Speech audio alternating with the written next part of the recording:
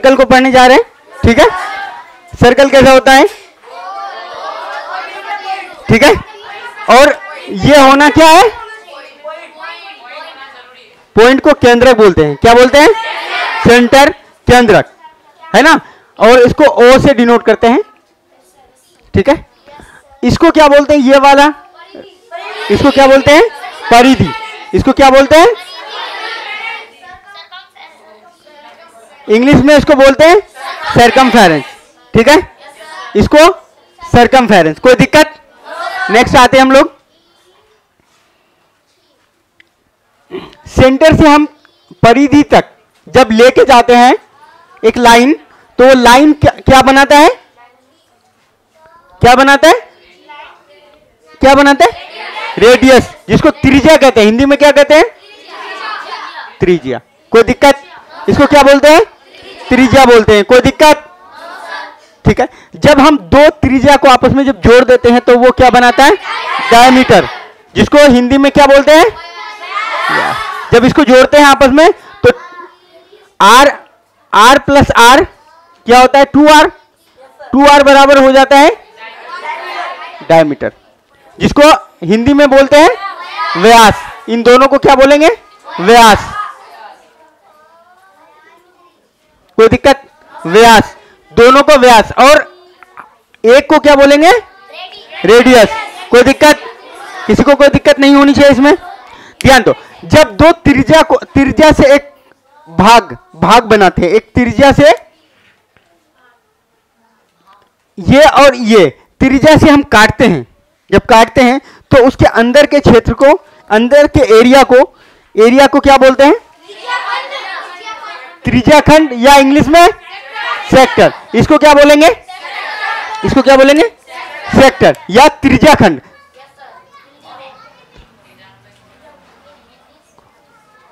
इसको इंग्लिश में क्या बोलते हैं? सेक्टर कोई दिक्कत? इसको क्या बोलेंगे? सेक्टर ध्यान दो। अब जैसे सेंटर से हम किसी को पास नहीं करते हैं, एक पॉइंट यहाँ लेते हैं, एक पॉइंट यहाँ लेते हैं। और इसको यहाँ से यहाँ तक दोनों पॉइंट को मिला देते। इसको क्या बोलेंगे? सेंटर से पास नहीं हुआ। सेंटर से पास नहीं हुआ। ये सेंटर के दूरी से पास हुआ। तो ये वृत्त का एक खंड है। तो इसको क्या बोलेंगे? वृत्त खंड। इसको क्या बोलेंगे? वृत्त वृत्त खंड। यानी वृत्त मतलब वृत्त सर्कल खंड मतलब टुकड़ा। वृत्त का टुकड़ा। तो क्या बोलेंगे? वृत्त खंड। इंग्लिश में क्या बोलेंगे? सेगमेंट ऑफ़ अ सर्कल कोई दिक्कत? ध्यान दो। इस वाले इस वाले लाइन को कहते हैं कोड इस वाले लाइन को क्या कहते हैं? इस वाले लाइन को क्या कहते हैं? कोड हिंदी में क्या बोलते हैं? जीवा। हिंदी में क्या बोलते हैं? जीवा। ठीक है? हिंदी में क्या बोलते हैं इसको? जीवा। इंग्लिश में? कोड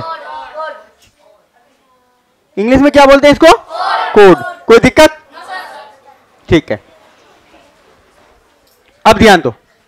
जैसे अगर हम परिधि के परिधि के पार्ट को, परिधि के पार्ट को अगर हम अलग कर लेते हैं, जैसे ये परिधि है, परिधि के पार्ट को अलग कर लेते हैं। जैसे मान लो ये P और ये Q, इस वाले को कहते हैं चाप। क्या बोलते हैं? चाप इंग्लिश में आर्क इंग्लिश में क्या बोलते हैं? आर्क कोई दिक्कत? याद हो गया?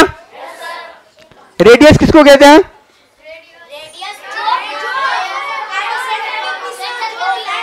सेंटर से परिधि तक जाता है। सेंटर से बाउंड्री तक जाता है। उसको क्या बोलते हैं? रेडियस कोई दिक्कत? रेडियस किसको बोलते हैं? डायमीटर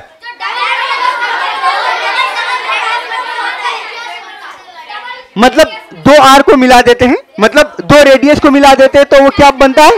डायमीटर बनता है। कोई दिक्कत? नहीं। सबको समझ आ रही है? नेक्स्ट वृत्तखंड त्रिज्याखंड, क्या फ़र्क है? फ़र्क क्या है दोनों में?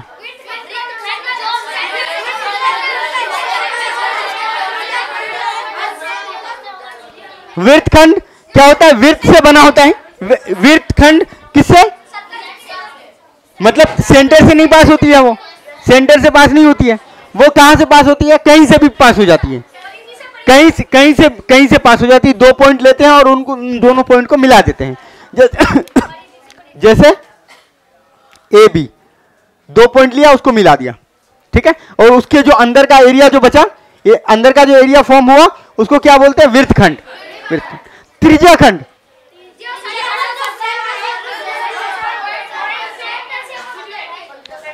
सेंटर से सेंटर से गुजारती है और जो एरिया फॉर्म होता है, जो एरिया फॉर्म होता है उस उस एरिया को क्या बोलते हैं?